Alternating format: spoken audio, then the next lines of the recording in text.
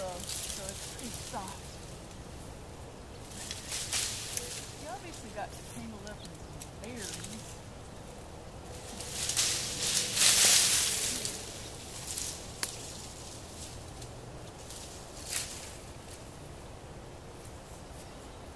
Oh, that's where he got it from. Right there.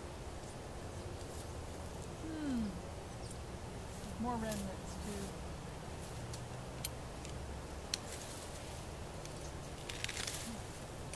That's gonna kind of help him out.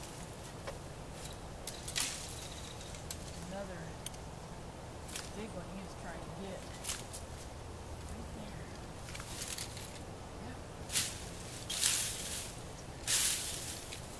Show you what I'm looking at. Yeah. Show you what I'm looking at here. Okay.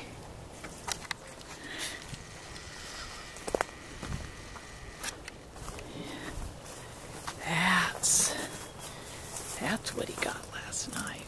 That one. So he's been busy. He tries to get these trees that are in the inside of these berry vines, and then he can't get the tree out. I don't know how many of them I've cut off for him, and then he comes and gets it in the middle of the night. I think I'm spoiling the beaver just a little bit much. Pretty funny.